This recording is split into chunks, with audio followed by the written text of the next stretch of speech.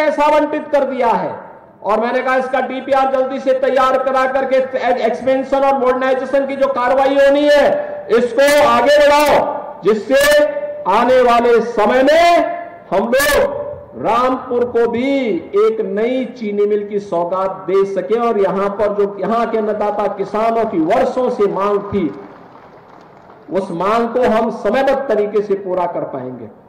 बहनों, भाइयों, वैसे भी यहाँ के हमारे सभी विधायकगण चाहे वह बलदेव सिंह गोलक जी हो, चाहे वह आकाश सक्सेना जी हो, चाहे वह राजबाला जी हो, चाहे वह सफीक अंसारी जी हो, चाहे यहाँ के हमारे लोकप्रिय सांसद श्री घनश्याम लोधी जी हो, चाहे यहाँ पर ख्यालीराम लोधी जी हो, चाहे यहाँ के हमारे ब्लॉक प्रमुख और चेयरमैन गणों इन सबको हम लोगों ने एक ही बात के लिए कहा है कि विकास के मुद्दे पर पीछे नहीं हटना है।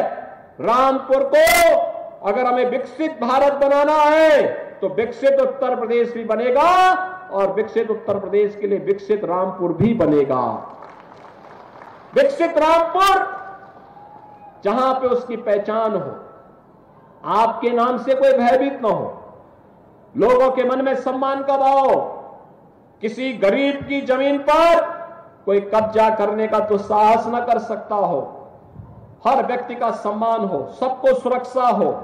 एक ऐसा रामपुर हमें देना है और इसी के लिए यहाँ पे श्री घनश्याम लोधी जी को भारतीय जनता पार्टी ने फिर से अपना प्रत्याशी बनाकर के उतारा है। घनश्याम लोधी को आपका आशीर्वाद प्राप्त होगा ना तीसरी, दूसरी बार यहाँ पे। मोदी जी को तीसरी बार आशीर्वाद। सभी लोग सहमत हैं?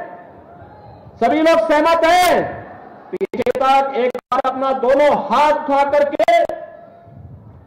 अपना दोनों हाथ उठा करके आशीर्वाद दीजिए श्री घनश्याम लोधी को।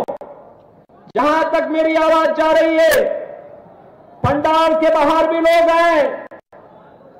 पंडाल के बाहर भी जो लोग हैं, वे लोग भी दोनों हाथ उठा करके मेरे साथ बोलेंगे, भारत माता की, भारत माता की, भारत माता की बहनों और भाइयों 19 अप्रैल को वोटिंग है। रामपुर में भी 19 अप्रैल के लिए घनश्याम लोधी को भारी बहुमत से विजयी बनाने की अपील आप सबसे करते हुए वाणी को यहीं पे देता हूँ विराम।